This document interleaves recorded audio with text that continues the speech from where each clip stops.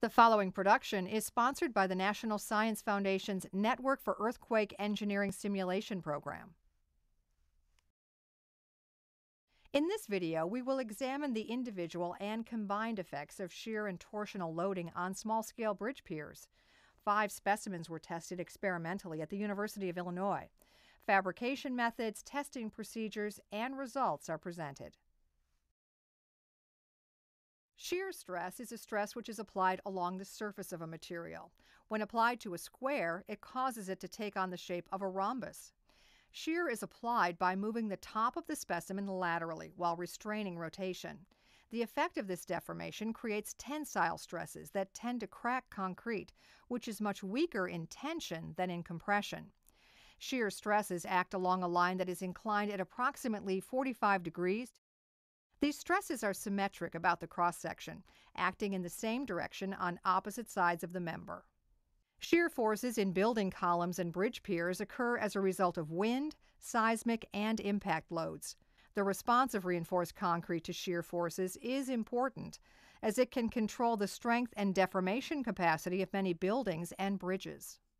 Typical shear failure consists of 45 degree inclined cracks opening up and rapidly propagating through the cross section. This failure is commonly seen in field studies following a significant earthquake. The test specimens are 1 20th scale bridge piers with designs based on Federal Highway Administration examples. In addition to scaling down dimensions and reinforcement sizes, special consideration is made in designing a microconcrete mix containing appropriately scaled and graded aggregate proportioned with water and Type 3 cement. The piers were cast using formwork constructed of PVC and plywood, which were fitted with longitudinal reinforcement to provide flexural strength to resist bending actions and spiral reinforcement to provide shear and torsion capacity. After allowing the microconcrete to cure for three weeks, the formwork was removed and the specimens were painted and fitted with steel end plates to facilitate connection to the testing apparatus.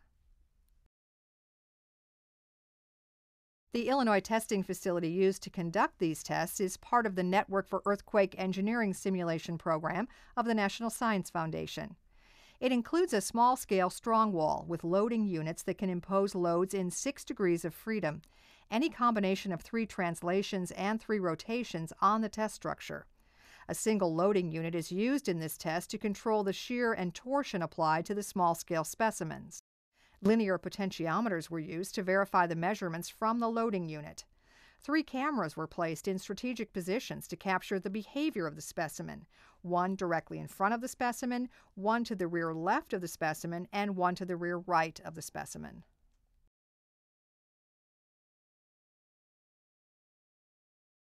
In this test, the pier was subjected only to lateral displacement to induce shear stress. The applied displacements and resulting forces can be seen in the graphs on the right, along with a stop motion video of the experiment from the three angles captured by the cameras. The bar below the center video displays the increasing levels of displacement applied to the pier as the test progresses. The plot in the upper right corner is called a hysteretic response curve and is a plot of the force generated in the pier due to the applied displacements.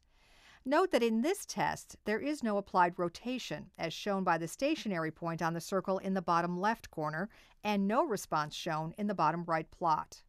Now, as we view the video, notice how the response increases linearly at first, indicating no permanent damage to the pier. Eventually, small diagonal cracks form on the front face toward the top of the specimen. The cracks open and close based on the direction of the displacement.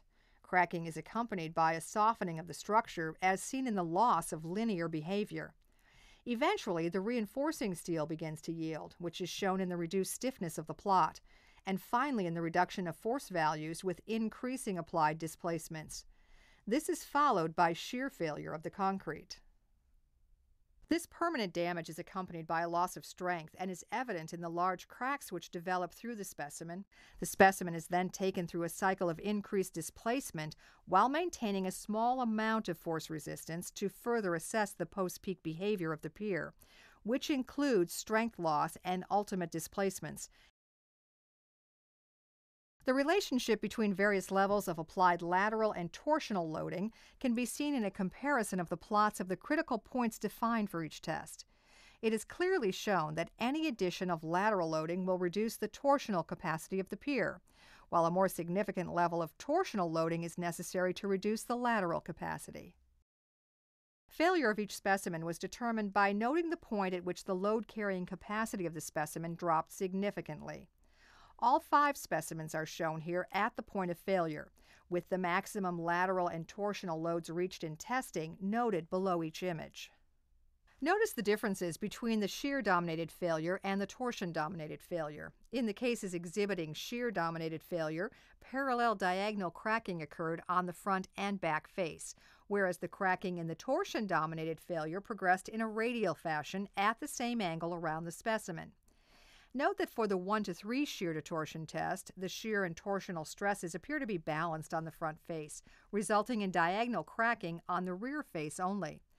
Recall that the 3 to 1 shear to torsion test is performed with stresses additive on the front face, though the shear failure dominates in this case. This set of experimental small scale tests is used to produce a plot of combined shear and torsion components exhibited by piers with the same properties. An envelope can be traced around this data to obtain a rough estimate of a shear torsion interaction diagram. Data recorded after a sudden drop in shear or torsional strength is beyond the satisfactory region of structural performance and is therefore excluded.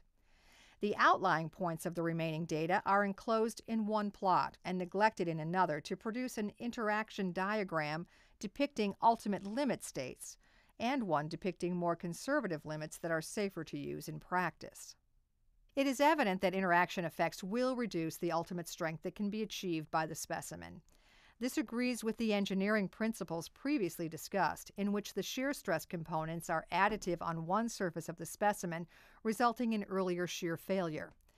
Therefore, a set of small scale experiments has been used to illustrate the basic engineering principles of shear and torsion.